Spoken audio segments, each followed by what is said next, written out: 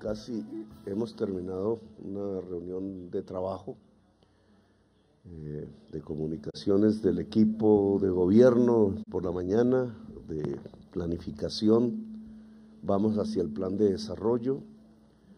Lo que queremos es una movilización popular, que la población pueda participar en todo el país para hacer el plan de desarrollo de Colombia en los próximos cuatro años. Hicimos un gran avance en articulación de ministerios, de personas, hombres y mujeres diferentes, unas de otras. El gobierno se ha venido construyendo, como ustedes han sido testigos. Eh, hemos avanzado en las posesiones, en los procesos de nombramiento, etcétera.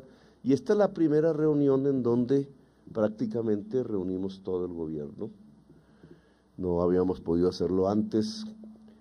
Eh, el engranaje del gobierno, que es fundamental, su coherencia, a pesar de la diversidad de los asuntos que cada ministra, ministro tienen que tener todos los días como su agenda laboral, eh, aquí logramos unificar, volver coherente un mensaje que sigue siendo el mismo por el cual nosotros llegamos a ser gobierno, el cambio.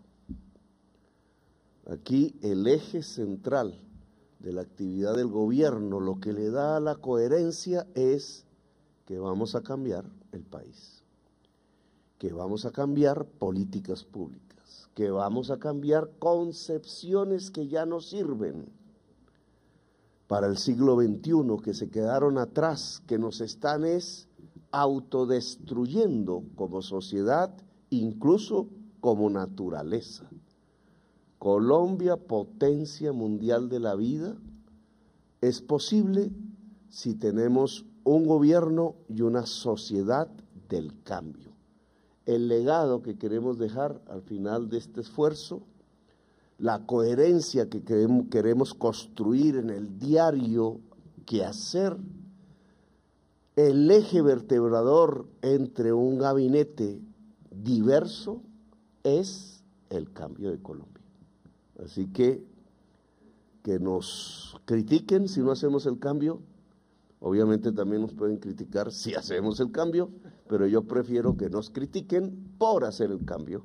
Así que ese va a ser el resultado final de esta reunión. Los equipos han cruzado ideas, programas públicos desde el Ministerio de Vivienda, desde el Ministerio de Salud, desde el Ministerio del Trabajo, desde el Ministerio de la Educación, desde Hacienda, desde la Consejería de Regiones, etcétera, etcétera, con un propósito central, cómo las políticas públicas diversas tienen un eje coherente que es el cambio de Colombia.